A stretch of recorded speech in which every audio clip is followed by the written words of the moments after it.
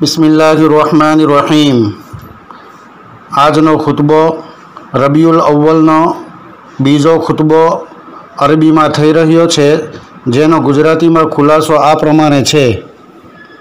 الحمد لله الذي أكرمنا بالمصطفى رحمة مهداة للأنام وجعل من سيرته مثالا يحتدى في التوحيد والأخوة وصلة الأرحام وأشهد أن لا إله إلا الله وحده لا شريك له وأشهد أن سيدنا محمدا عبده ورسوله صلى الله عليه وسلم تسليما كثيرا كثيرا أما بعد મારા મુસલમાન ભાઈઓ અને આદરણીય વડીલો, અલ્લાહે પોતાના પ્રિય નબી હજરત મોહમ્મદ સલ્લાહુ અલૈહી વસલ્લમને તમામ જગત માટે દયા અને રહમત બનાવીને મોકલ્યા છે.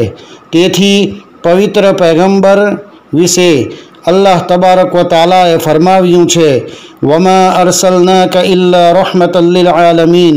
જેનો અર્થ આ પ્રમાણે છે કે હજરત મુહમ્મદ સલ્લાહુ અલહી વસલ્લમને અલ્લાહ તાલા દ્વારા તમામ વિશ્વ માટે ભેટ અને હડિયો છે અને અલ્લાહ તાલાના આ આદેશનું ઉદાહરણ છે. પેગમ્બર સલ્લાહુ અલહી વસલ્લમના આશીર્વાદિત જન્મને યાદગાર બનાવવા માટે આપણે એ જાણવાની જરૂરત છે કે દરેક મુસ્લિમ માટે પવિત્ર પેગમ્બર સલ્લાહુ અલૈહી વસલ્લમનું પાલન કરવું જરૂરી છે. માટે આપણે એકબીજા સાથે પ્યાર, મોહબ્બત, મહેરબાની, ભાઈચારાનું વર્તન કરવું જોઈએ. જેથી આપણે વ્યવહારમાં સાબિત કરી શકીએ કે રબ્બુલ આલમીન તરફથી આપણે જગત માટે દયાની ભેટ એટલે રહમતુલ્લિલ આલમીનની ભેટ સ્વીકારી છે. પવિત્ર પેગંબર સલ્લાહુ અલહી વસલ્લમના માર્ગને અનુસરીને પવિત્ર પેગંબર સલ્લાહુ અલહી વસલ્લમના જીવન ચરિત્રને તમારા જીવનના દરેક વળાંક અને પ્રસંગે પોતાના માટે આદર્શ અને નમૂનો બનાવવાનું છે. કારણ કે પેગંબર સલ્લાહુ અલહી વસલ્લમે કયામતના દિવસ સુધી સમગ્ર માનવતા માટે દયાના પ્રબોધક છે અને બધી જ નસ્લો અને જમાનાઓ માટે દયાળુ છે. અલ્લાહ તબારક વતાલા ફરમાવે છે, કુલ બિફદલિલ્લાહી વ બિરહમતિહી ફબિધાલિકા ફલ્યફરહુ. એ નબી સલ્લાહુ અલી વસલ્લમ, આપ ફરમાવી દો કે આ કુરાન અલ્લાહના ફઝલ અને રહમતથી છે માટે તેના પર ઈમાનવાળાઓએ ખુશ રહેવું જોઈએ. દયા, મહેરબાની અને ઈમાન અવિભાજ્ય છે. બંદો તેના રબની જેટલો નજીક હશે, તેટલો જ દયાળુ અને મહેરબાન બનશે. અને જેટલો તે તેના રબથી દૂર જશે, તેટલો કઠણ અને બેરહમ હશે. બહાર એ આવ્યું કે કરુણા અને દયા અને કઠોરતા અને બેરહમીનો સંબંધ ઈમાનથી છે. પેગંબર સલ્લાહુ અલૈહી વસલ્લમે ફરમાવ્યું છે, જેનો અર્થ આ છે કે દયા કરનારાઓ પર રહમાન દયા કરે છે. તેથી તમે પૃથ્વીના લોકો પર દયા કરો, ખુદા અર્શ પરથી તમારા ઉપર દયા કરશે. પેગંબર સાહેબના જીવન ચરિત્રનો અભ્યાસ બતાવે છે કે તેમની દયા અને મહેરબાની ખૂબ સામાન્ય હતી. માટે આપ સલ્લાહુ અલૈહી વસલ્લમની સહી ઇત્તિબા એ છે કે પોતે પર રહમત, મુહબ્બત, ભાઈચારાનું ઉદાહરણ બની જાય.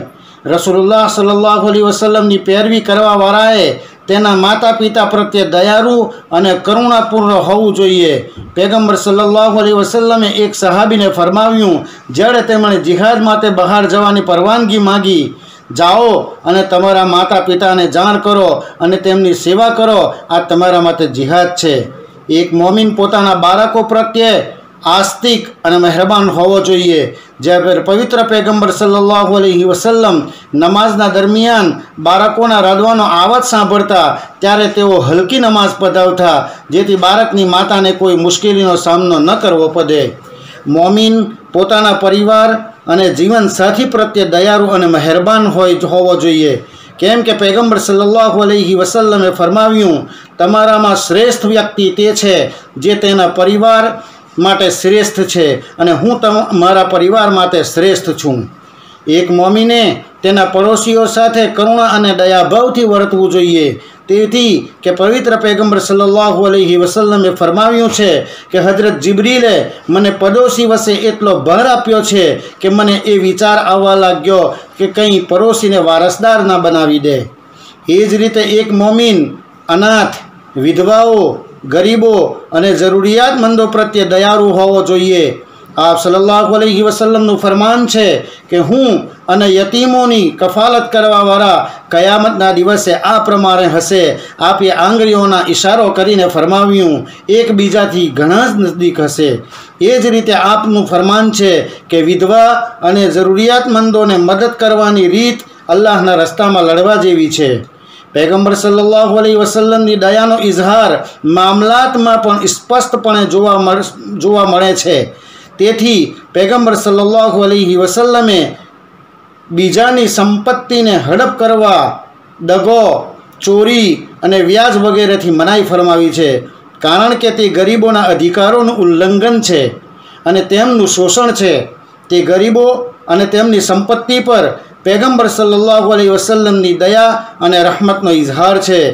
તેને ક્રૂરતા, આક્રમકતા અને હત્યાને હરામ તરીકે જાહેર કરી છે. ઇન્સાનિયતની બુદ્ધિ પર દયા અને રહમત ખાઈને આપ સલ્લાહુ અલી વસલ્લમે દારૂ અને નશાને હરામ તરીકે જાહેર કર્યા છે.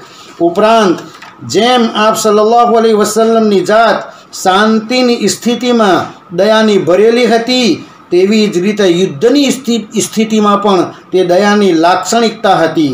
આપના મતે યુદ્ધનો હેતુ હત્યા અને તોડફોડ બિલકુલ ન હતો, પરંતુ આપનો હેતુ શાંતિના દુશ્મનોને અત્યાચાર કરતા અટકાવવાનો હતો.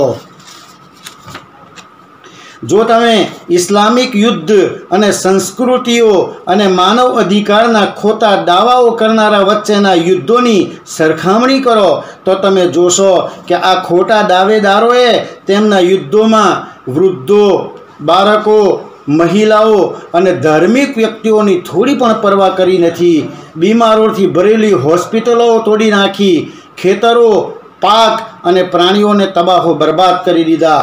આ બર્બર સંસ્કૃતિની ક્રૂરતાનું એક મોટું ઉદાહરણ છે કે પ્રથમ વિશ્વ યુદ્ધમાં ઓગણીસ મિલિયન લોકોએ જીવ ગુમાવ્યા હતા, જેમાંથી લગભગ અડધા નાગરિકો એટલે કે બિન લડાકુ હતા.